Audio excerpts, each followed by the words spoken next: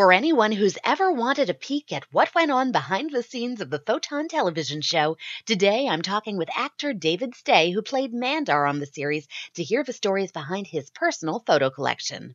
Hi, David. Hey, now.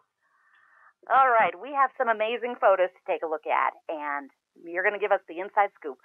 First of all, you've got some amazing photos of the entire cast and crew. So we're looking right now at the whole crew Tell me who's who, what's the scoop, what are we looking at? Okay, we're going to start from left to right. Uh, the first guy standing, he uh, was one of the production assistants. The guy kneeling and the guy standing above him, they were sound guys.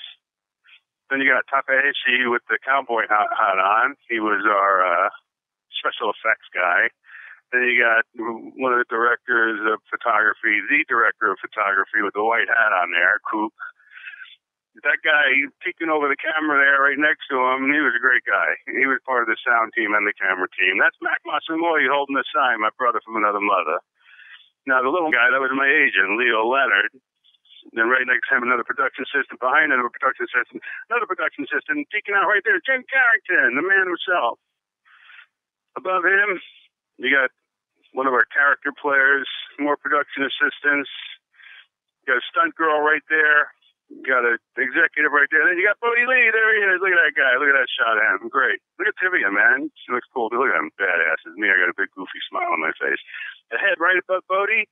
Right, this is the guy we were talking about. So I couldn't remember his name. I messed the time. Another production assistant. More production assistants, I guess. Uh, one of the character players right there. There's Chitsuda, right above the guy with the glasses on the far left, next to Takahashi with a cowboy hat on right there. Chitsuda, our makeup girl. She did my face every day and took it off every night. Uh, another guy right there, young lady, sweet girl, uh, had something to do with the scripts. And there's Mickey and the guy above her. Both of them were the prop people. And I loved Mickey, but she was so shy. And then you got up to the top left there, that guy with the glasses on, another production that says I messed with him too. We had a lot of fun and a whole bunch more people. And there we all are, about two weeks into the beginning of Photon. Yeah, man. Oh, Darkness. A lot yeah, of people involved with this production. Oh, yeah. Every day. It was a great time. Very good. All right, what's next? All right. What's next? Here we go. Then we've got another photo. It looks like it's just the cast members. Yeah, just us. Everybody, uh, the guys in the costumes. Well, actually, the guy on the right there between Bhodi and Baden, that was the the fight and stunt co- coordinator. So he's the only one who wasn't one of the actors. Everybody else was somebody with a mask at some point. The Leon, the Pike, right. the Warrior. He, he, yeah, he's the only one. And look at Tivia punch in what's his face, punch him in the head. See her? Uh, you didn't notice that, did you? I did not. No, I didn't either until just now. She's punching him in the face. That's how we felt about him, Pyro. Oh, a little subtext to the photo. Uh, and look at Chris, man. Look at that pose. He's got Wishbutz's face, his head on, in his hands. you guys had too much fun. Yeah, it was a lot of fun. All right, next. All right. Now, moving on. See something that is kind of interesting. Now, most of the production crew, it looks like, had blue jackets, but you and Graham had red ones. So I'm curious, were the red jackets maybe specifically given to the actors, or did just did that maybe just fall out by chance? No, you know when you go to a wedding and they ask you if you want fish or meat. Mm-hmm.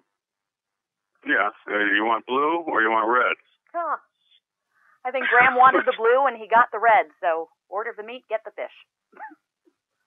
Oh, really? Is that, did he tell you that? He did. He ended up with the red one, and he thought it was a little bright. Now, moving on, though, um, we've got some production team members and a couple of familiar faces. All right, next. We're next. Yeah, that's Takahashi. That's the the this the special effects guy. He did everything, built everything, built all the miniatures, all the puppets, all the everything, costumes. That's the man. All right. And what was interesting is we were going through some photos beforehand, and um, definitely then these guys were from the Artmic company. So Artmic doing all the special effects work, it sounds. And then there's a shot of Mandar making friends with somebody. Who's this producer?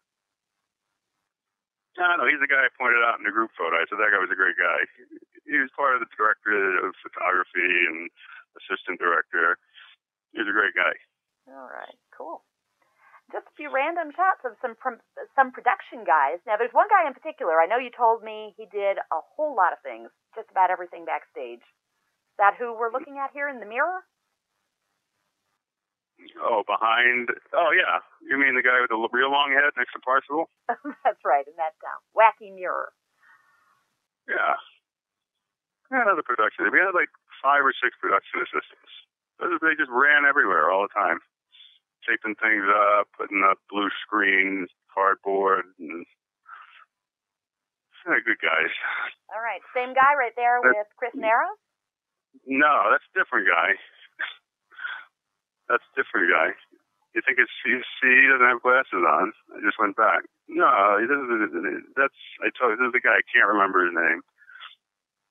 Okay, a few guys doing a whole lot. Another month. All right, now. Yep. There's a scene with a bunch of people around a couple of tables. I know I see Jim Carrington in the back corner. What do you remember yeah, about these folks? That was, that was our production room. That's Jim. Next to him is the director of photography. Uh, I don't know. Uh, there's a sound guy there, another sound guy. It's just everybody. Okay. Next. All right. Guy with the coffee maker. Yeah, production assistant. Another good guy. Loved him. Cool. Next. Then we've got a couple of guys party. hanging out with you at the wrap party. Yeah, wrap party. We'll talk about the wrap party in a little bit more detail, but uh, these were the production team, right? Yeah, more crew. The guy on the right always wore black. It was the Johnny Cash yeah, bunch. Yeah, there's just another shot. A cool shot. Very good. Looking at the ones with you in the shades? Yeah. Um, uh, the next one, that's one of our assistant camera guy. Mm-hmm. and more production crew, blah blah blah. And there we are again. Bam. All right. Love well, uh, quite the crew there. And moving on to some of the ladies who helped out with the props and the makeup. Looking at a woman here who was dressed like Tivia, but definitely not. And I understand she did double duty on the set. Tell me about this woman. Yeah, that's one of our stunt girls. She doubled for Tivia.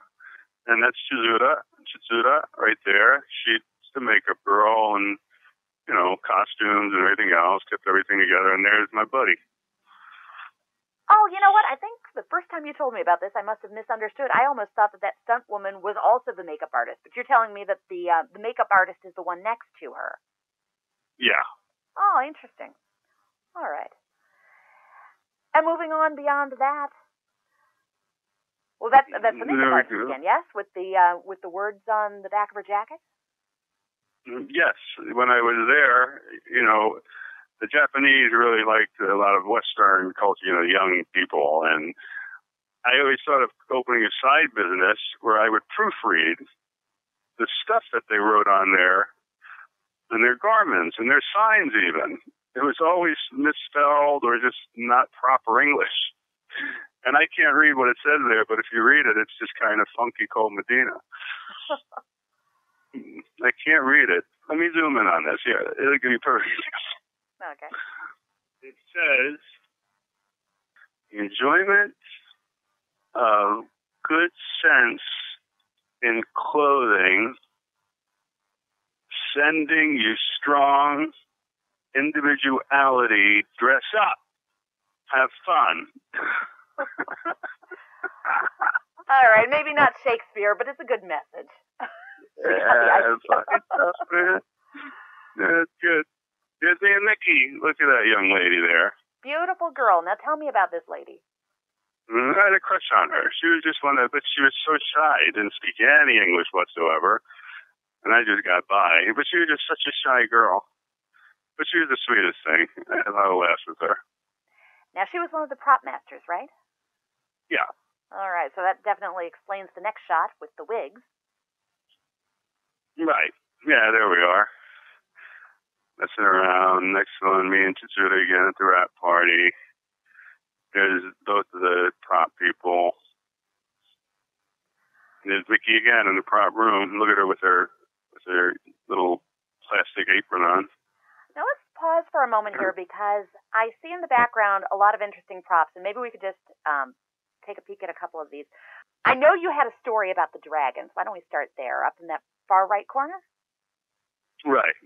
Well, they're in one of the episodes. They're puppets, and I they were really cool. I really liked them, and their eyes lit up. And I asked Takahashi, you know, hey, when we're done, can I have one? He says, oh no, no, no, we we you know we can't. And at the end of shooting, I think it was like the last day. He came over to me, tapped me on the shoulder. He had a bag. And he, he gave me this sign. He said, "Here you go," and the head was in the bag. That's great. so he gave it to me. It's still in my brother's basement in New York. Oh, amazing. Now, on, now on the top shelf there, that's uh, the bad guy's place. That's the Warrior Bar. That's his place. Yes, which looks enormous on screen and clearly was not. Yep. Mickey's bigger than it. oh, just about. And Yeah. to the left of that, that red puppet looking thing on the side, that would be the warlord? Oh, you know what? I think you're right. Yeah, there he is. There's his hand. Yeah, that's him. I didn't. I, I was going to say I don't know what that thing is. I Yeah, thought it was just. just I thought it was. I just thought it was material. Wow, you found him. There he is. And there's hey, look. There's a spaceship. There's everything there. It's a little bit of a Where's Waldo game. Come on. I want to look around a little more. Yeah, I'm trying to figure out what those red things are hanging there. I don't know what that's from. Oh, I do know what that's from actually. Oh, that was that guy's necklace. The guy's necklace.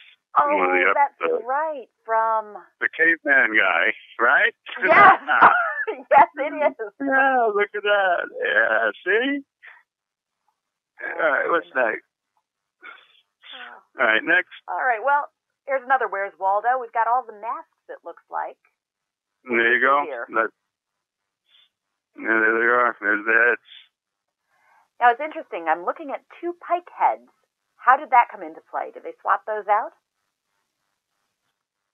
Well, one, I think the eyes and mouth lit up and moved, and the other one was just stabilized, just when he didn't have to do anything but run around. Oh. Because remember, they always had to have the guys, with, you know, doing the eyes and the mouth, puppeteers. And look, there's Mandar's belt right there, bottom right. Cool beans. Yes, on the right there it is. All right, next. All right. Now we've got one of the other men of R. That would be Pyrar before he gets There he is. up. So That's the man with. That's my jacket right there, probably. The red one. jacket. Yeah, I think so. Awesome. Well, it's definitely yours or Graham's. Right.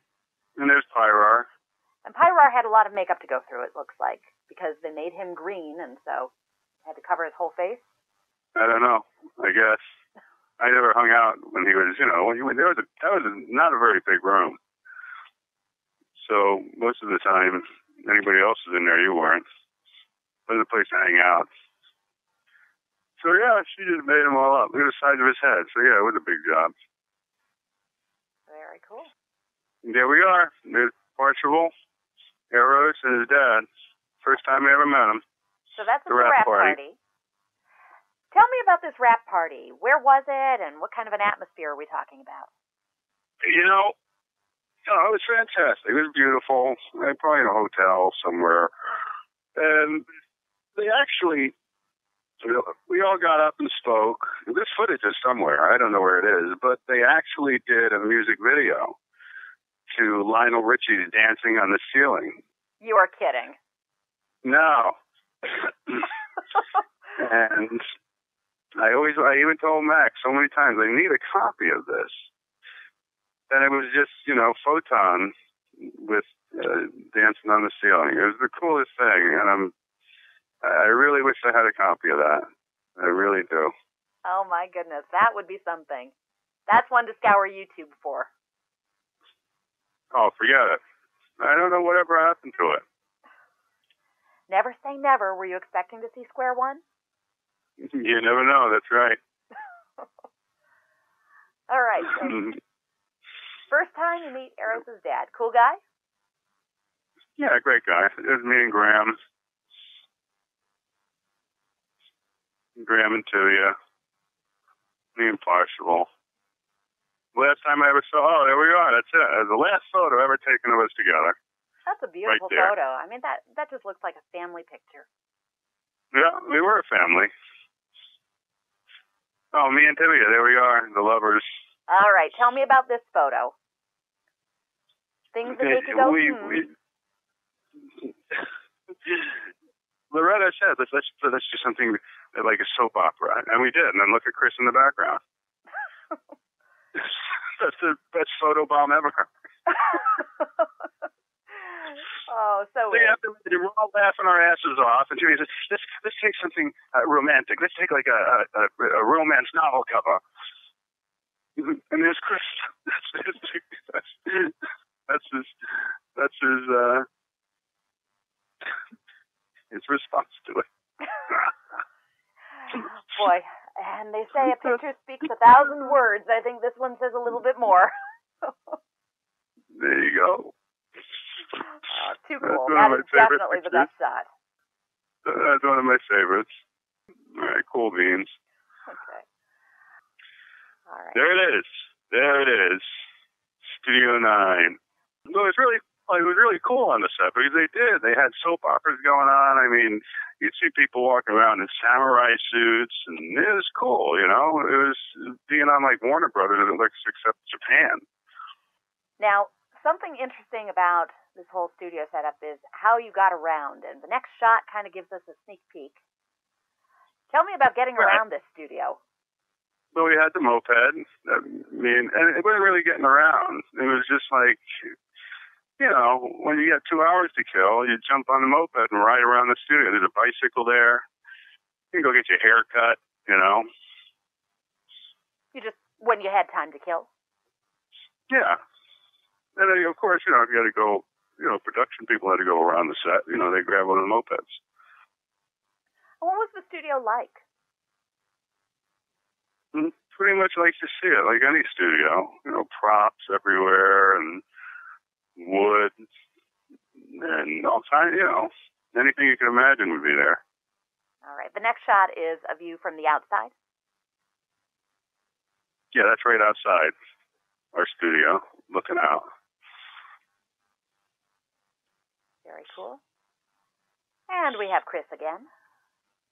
There he is, my brother from another mother. Yeah, there we are. This is one of the on location shots, right?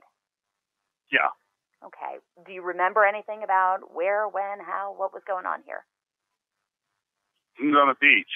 This is actually off the beach. The beach is, that's what they're looking at. Tilly is looking at me. The co-star is looking at me. Yeah, we're right on the beach there. Okay, the one with all the rocks where uh, Friends and Enemies was shot. Because that guy there say- sold RD. Yes? Yeah, that's right. Yeah, the guy that he he I don't know what happens to him. What does he do? He quits the Warriors of R or something. Gets thrown out. He gets thrown out. Yeah, that's the guy. Yeah, so we had a lot of pyrotechnics that day, which was cool. Where That's are me you? hanging. I'm at a friend's house. A young lady. Her she had a beach house, or not even a house. It was just this little place on the beach, and it was cool. And we were just getting ready to go. I was waiting for her. Very nice. Now here's a great shot of, of Tivia and Basin unmasked.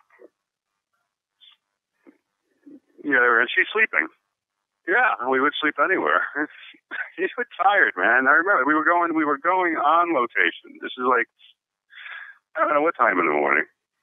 We probably were in set by five in the morning, five thirty, and this is us on the road. It was like four hours we drove. It was far away. It's, Oh wow. but yeah, that's that's the route of sleeping. See next, there we are partying. this is the hotel we stayed in. We all had the whole play. We had a floor, hmm the whole floor of us. We were drinking beers, sake, partying our heads off. Look at us. Hey, Graham. Wow, this is a great shot. This is one of the best shots. Absolutely. This one is truly bringing Mandar back to the light, quite literally. Yeah, that's pretty cool. You got the lighting guy, and you got the look at the soldiers in the background there. Oh, That's yes, a cool- are. That's a cool shot, man. Those guys almost blended into the scenery, but boy, Mandar just jumps right out at you. Probably jumped right out of There at them too. Next. Taking pictures of each other. I, I told you I have a shot, but it's a shot of three of us taking pictures of, of each other, taking pictures of each other. If I find it, I'll send it to you. I have it somewhere. There. Look at that shot of Tivia. Look at that. She's reaching for something. She's probably reaching for the the, the orb. I don't know. It's just a great shot. That's acting.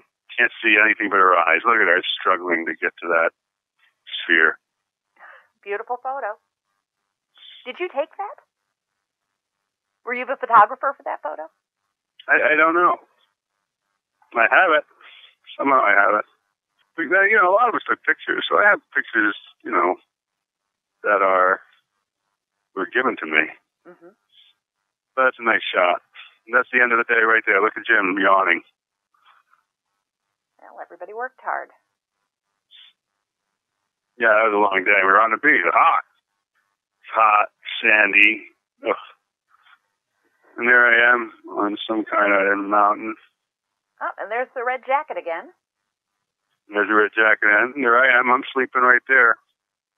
I'm out. Looks like somebody zapped Mandar. No, the good nap. There I am with the samurai sword. Now, right behind me, you, you see the one with me with the samurai sword? I do. Right behind me, that is Mount Fuji. That is too cool. That's cool, right? Absolutely. Actually, I have a picture of that too, which when I find it, I'll send it to you. Wow. Yeah, that's stuff, man. All right, that's that. Carry on. Your buddy Mac. Tell me about Mac Masamori. Mac Masamori, there he is, man. Look at him. Look at him in his sweats, his baseball cap. He was like the greatest guy. He really was. Yeah, just a really good guy. He wanted me to stay in Japan. He was going to be my producer in Japan, but that was in my uh, my goal. Didn't want to be famous in Japan, you know. But there he is. That's my guy. Now, the next picture. That's me and Max in the planning arts offices in Tokyo. Uh, this is in 19, like 90, 91, 92. He hooked me up with a gentleman by the name of Sawamaru, who was a pretty big guy in Japan. He was kind of Steven Spielberg of Japan. And I got a gig. He wanted to have an international production company. So I ran the offices in, in here in the United States, and we had Guillermo, who ran the European offices. And it's too long a story to go into, but it just didn't work out. The, the Japanese business, the, the Japanese business is completely different than European and and Western business. They have a whole different concept of doing business, and it just wouldn't work. We couldn't get anything off the ground. But anyway, I worked for Planning Arts for like two years, and that's Matt. He's the one that he, he used to work for at Sato, and that's me and him in the Planning Arts offices, and yeah, I think that's in Shinjuku. And Mac had a huge role in Photon, right? Yeah, he was the man. he, he was, you know, he was. He's what you would call the, I guess, general manager, UPM, the unit production manager. You know, he oversaw everything. Yeah, that's my my brother from another mother. Tell me about Jim Carrington. You know, Jim Carrington, a cool guy. He was the supervising director of all the actors, and uh, he, I, I directed three episodes because he was gone. Because I became the assistant supervising director to him. So we had great times, me and him. I caught up with him here in California. Yeah, Jim was a good guy. Very cool. All right, we have some really cool photos here from a Halloween party. Tell me about this. Where were you and who are you with here? Well, that's Jim Carrington and the girl he was seeing at the time. And it was Halloween in Japan. And I asked the, I couldn't believe they let me do it. but I asked her if I could wear Mandar out. And I don't know who had to approve it. I think Mac did. And that's the Hard Rock Cafe in Tokyo. Am I remembering, is this where you were a bartender? Yeah, I was the first American bartender in the Hard Rock Cafe. Very cool. That was a very cool time. And that place was so somber when I got there. It was just somber. There was a circular bar in the middle of the place, and it was all the Japanese were just sitting there, and the bartender was somber. And before I left there, uh, we were flipping bottles, and the whole place was partying. You always have a good time, don't you? It's the way it should have been. I couldn't believe it was so quiet, you know. The bar was the center of the of, of, of the whole atmosphere. Then I turned one bartender around, the manager, the bar manager. He was, he was a real somber guy. Yordi was the other guy. Me, him, and bar manager. Anyway, that was the Hard Rock Cafe. Now, who was the young woman with the pink turtleneck in the photo with you?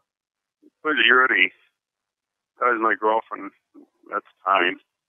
She was actually a waitress at the Playboy Club. She's a Playboy bunny in the Playboy Club. Now, the guy who owns the Hard Rock Cafe, Tony Roma, the Playboy Club, all of those, he uh, he was a good friend of ours. He got us a place to live when we got there, and uh, Mr. Sumatani, very wealthy man, he hooked us up. We met him in New York, me and my buddy James, and James was going to Japan, so it was cool. Yeah, that was Yuri. Another great picture of her. Now, who are you hanging out with here? That was my best friend in Japan, Joe Nakai. That was the man with the plan. Me and him had a great time. That's Yotaro. That's where I learned to speak Japanese, little mom and pop shop. Master and mama. That's what you call owners of a any type of restaurant. They're little, they're real tiny places. If they're husband and wife, you refer to them as master and mama. But that's where I learned to speak Japanese. You spend a lot of time there, I take it. Oh yeah. See that bottle? Yes. That's a shochu bottle. And what you would do, you would go in, you get your bottle of shochu, your tea, and your glass, and your bucket of ice, and you make shochu, shochu and tea. And you would design the bottles. Any place you go to that you frequent, they give you the pens and you design the bottle. So whenever you come back, you always have a bottle there. And it's probably still there at Yotaro, that bottle. Very cool. So that's your artwork on the side that we're looking at? Oh, yeah, like on the side of the bottle. It was a dragon, like a dragon or a sea dragon or something. I don't know what it was. Very cool. Okay, the next shot. That's all of us out uh, after shooting one day. I don't know what I was thinking. Now, you were telling me this is the place that you learned a really interesting aspect of some Japanese culture at this restaurant. Can you? I did. I actually did. Yeah, the gentleman next to me, who's the director of photography, looks like Jim is lighting up a cigarette. He, uh, we're out, and a young, that's a young lady, maybe 20 years old, 21 years old. They're having this heated conversation. She starts crying, and he's really laying into her. And I started getting upset with him. And, you know, he just, I thought it was terrible what he was doing with this girl. But I was pissed off at him. And I guess he spoke to Mac. And Mac came to me. He says, Do you have any issues? And I told him, I said, What's wrong with this guy? And he explained to me Japanese culture, if you go out with your bosses, anybody, from work, you can say anything you want. You can say exactly how you feel to the boss, and it's supposed to be okay the next day. So that's the part of the Japanese culture that I find is fascinating. Now, that girl to the side, is that who you were speaking of? Yeah, that's her. That is actually her. That's okay. the girl. Well, she came back with her script, so I guess all was cool. Yeah, she was a script girl. I'm pretty sure. She did a lot of. They all did a couple of things, you know. Okay, the next one. That's just us out. Um, about. See that sweater I'm wearing? Mm-hmm. I still have that sweater. And what did you have over the sweater? Mm, it's a Japanese robe. That's in a hotel. Mm-hmm. On location again somewhere. No, that has to be low. See, you can still see the dark in my eyes. My eyes are always dark. My eyeglasses because of the makeup. All right. So I see a few photos from a traditional Japanese dinner. Uh, where did these dinners take place? What were they like? Well, it's just you know, it's like a hotel. It's ballrooms, and uh, you know, the whole crew. We all eat, and that's how you eat in Japan on the floor. Oh, that's on location. And then we'd go out. Like the other pictures you saw, we all went out. Yeah, sometimes we go out. And we're all on the floor in those pictures too. And nobody's sitting on any sheets, I don't think. Even in my home, where I live, my living room, I actually had the coolest table in the world. There's no central heat in Japan hmm. and in the old houses. And it was a table, it was a heating table. It was a beautiful thing and there was a heater under the table, and you threw, you know, the quilt over the table, and you put a table on top of it, and you put your legs underneath the table to stay warm in the winter. It was a real cool table. That's interesting. No, we did everything Japanese style. I had no chairs in my place. We actually had we we actually did have uh, car seats. We found these car seats. Car seats? Yeah, that's huh. was the only seat we had in the living room. Other than that, it was just, everything was low. Every all the tables are low. Everything's done down down on the ground. Very cool. Yeah, you saw the pictures of my bedroom. You know, you sleep on a futon on the floor. Hmm. So, like my buddy Joe, his family. This is him, his wife, and his two kids at the time. They all sleep in one room on the floor. That's got to be quite the culture shock going over there and experiencing that. You were just uh, immersed in it. Yeah, it was fantastic. Huh. Yeah, I even jumped. I heard there was an opportunity. I went for it. But see, the cool thing about it was Mr. Sumatani that we met in New York. He hooked us up with, who would think we were millionaires, but it was one of the employees of his corporation, and his mother had a tenant upstairs, that uh, died, and they needed to fill the place. And it was costing us like a thousand a month for something that would cost ten thousand a month. It was actually the whole top floor of a house. My living room was bigger than Joe's whole whole apartment.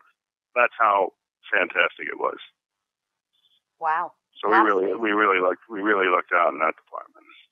That's great. And there we all are, chowing down. There we are after drinking and eating. And that's about the end of the party right there. It looks like you had a good time.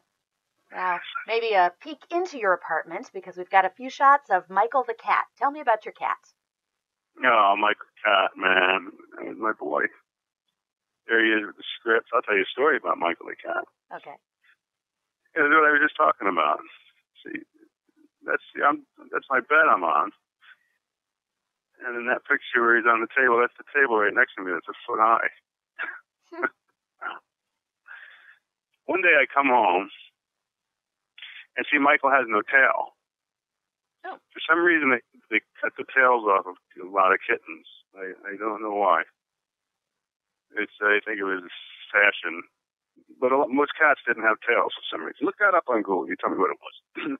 I come home one day, and Michael is in the kitchen meowing. So I go to the swinging door. I walk in the kitchen, Michael. He's not in there. So I hear him in the hallway. I go back out. He's not in the hallway. And I hear him like in James's room. I go down there. He's in the ceiling. He's up in the ceiling. now this is creepy stuff. I'm like, how could he get up in the ceiling? And I had a closet. There was a closet that was it, it, it was a half a closet. And I remember up on top of it there was a, a slat, a tile, you know, and it was kind of askew. I said, well, that's but to get up there for him was a little kooky to begin with. Anyway, it's closed. It's closed. I was like, oh God, no, I'm freaking out. So I push it open, and a bag falls out. And I get Michael down, and in the bag was a hat that my brother actually has at his house in his basement. Now, in this picture with me and Michael, that's the hat. That's the hat that came out of the ceiling. Too cool. And the cat is still chasing it. There you go. But you know what? I never got the courage to stick my head up in there. you know that? There might have been a million yen up there. And I, I never wanted to stick my head up and look up in there. now that is ironic coming from the man who made Creepy. Mm-hmm. yeah. that, that, that was it was too creepy for me. How did he get up in there, and how did the how did it close up? Ah, it's fantastic. There you go. The concept art. Now, did you think that they matched the art to you, or that they matched you to the art? Well, they matched me to the art. That's why when I walked in that day for the audition, all I had to do was be able to act. It was very cool to see some of this original concept art. And what did you think when you saw the art for your character? Oh, I was blown away. I thought it was Max showed it to me. He says, "Here, look at this," and he told me, "He says, this is this is how we envision you." and I actually, you know, I auditioned for Bhodi Li, and the casting director there, he said, "Can you be mean? Be mean. Just improvise it." I mean, I went off the wall. Then less than a week later, Leo called me. He said, "You booked it." That's awesome. 26 episodes. No, but in the picture we see the photograph of me and Mandar. Mm-hmm. That's the day I met Leo, Leo Leonard. That's the picture he took of me to submit. Very cool. Moving on to uh, a little bit about the costumes. Different actors wearing some pretty elaborate costumes here. Just any thoughts about what you remember, what they were made of, or some of these had moving parts, I understand. We're looking at Warrior here. Yeah, a pain in the ass from getting into that. I felt bad for that. I even felt bad for Graham. Now, Graham said he still has nightmares about his costume. oh, yeah, it was tough in there, man. It was tough. You know, you could imagine, like, you take that head off, you could feel the heat coming from, like, a steam pipe. it's hot in there, man. All these guys, he's tripping in there. It's full regalia. Oh His bug art. That was another one. The guy in there is a little guy too. How are they able to breathe in those costumes? Best they can. and there's uh see that's when they remember we were looking at the the props and I told you some the mouth move, the eyes. Yes. So that's them manipulating the eyes and the mouth of Pike. Now that's interesting. So, whenever there was movement, that was a very controlled movement, it looks like. One of my favorite Pike lines was when they were going to some planet, and he says, "Oh, now my what did he say? It's gonna it's gonna do terrible things for my complexion, something like." I remember we were all laughing about that line. I think Jim threw that in. See, that's not in the script.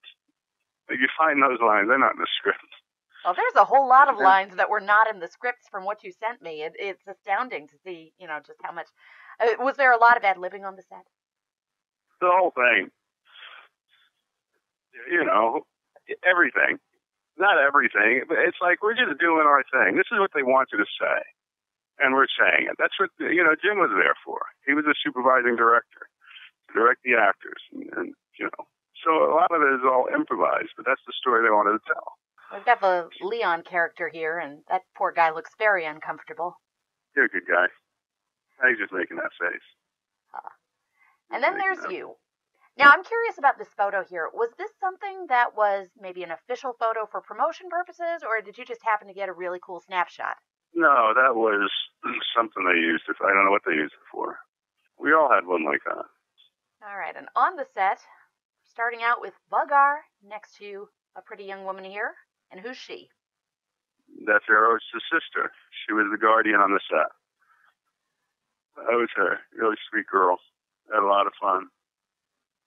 Very nice. You're saying she was always around. She was kind of the uh, the the den mother for the set, so to speak.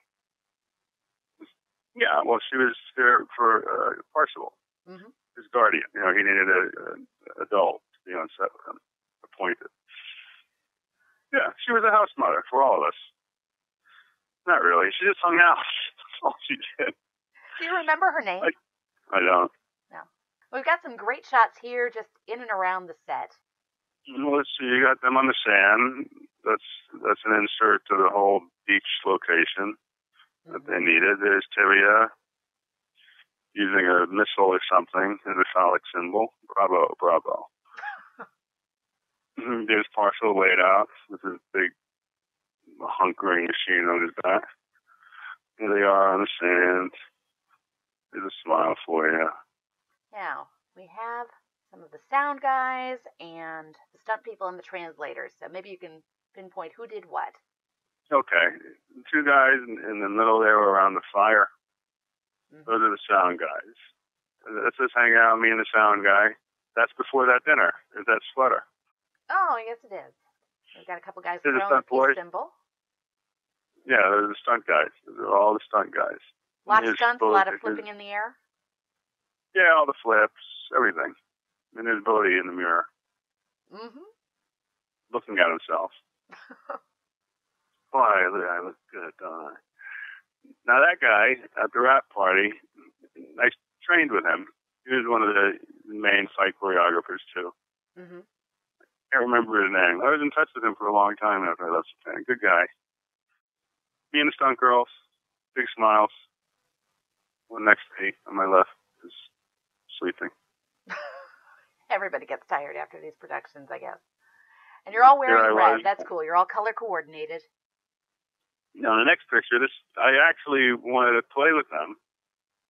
You know, like do fight choreography. And he came, the guy at ATC, the uh, main stunt coordinator, came in. They were like, "Nope, gotta go." Yep. Catch you later. Yeah, gotta go. That's a nice shot. I see that. See the door there? That's the makeup room right there. That's how small it is. You know. Oh. Probably ten by 10 Mm-hmm. Well, the young lady in the middle, that's one of the translators. On the. And that's that right there. That's the end of the day, too. I think the second day we're going to leave location. All right. No Laughing Matter. No Laughing Matter was one of the favorite episodes, and you've got a lot of really cool photos from that one. So tell me what's going on behind the scenes of that episode. I see you and Tivia here. Yeah. Well, it was just, uh, you know, again, we were off the blue screen. It was an actual set. So we're just hanging until you. There's Chris goofing around. There's Parcival and his sister in the background. There's Chris and Charlie Chaplin. He's sleeping there. See, there's another shot. There's another shot where you just sleep. He's off a little while there. You're stuck there. And keep in mind, again, it's a whole, a whole different story when you're on set. On the blue screen, the light, everything's completely different. So when you get specific shots, it takes a little longer. Was goofing around. We're the crown. A couple of general yeah. photos here. Just wonder what you remember of these. Got a nice one of Tivia unmasked. Yeah, there's Tivia. Out and about. What she looked like outside the studio. There I am in my bedroom. My my dog. Still have that dog too, you know that? Do you? Huh. Yep. He's, he's in New York. A lot of stuff in my brother's basement. Oh, very cool. And there I am holding up the translator. The translator. All the, right. I took a lot of people up. that is a very cool photo. There is one photo I have with you know my favorite guy, guy that I would mess with all the time. Mhm. Where I actually, I'm, I, I have, I'm going to find these. They got to be somewhere. I'm actually, you know, holding him like that, and he's pissed off. And he's in, in the photo, he told me, "Put me down." Well, that Oh, guy yeah, looks like uh, he's being a that- sport. Oh, they were all sports about it. But he was just working, and they were rushing. I just grabbed him and said, "No." And look at that shot of Graham. That's a beautiful shot. That's a fantastic photo. It's cool to see some of these people unmasked. And I'm done with photon now. All I right, relived it. I relived it. let's wrap it up. Fantastic. Any final thoughts on this trip down memory lane? None. You just got them all. all right, we got the best of Mandar out of this. Well, I appreciate Hey, you taking you a few all. minutes to go through all of this. Hey, no worries. I enjoyed it. It was a trip. Very cool. So, a backstage peek at what really went on during the Photon television show. Thanks so much, David. And a uh, bye.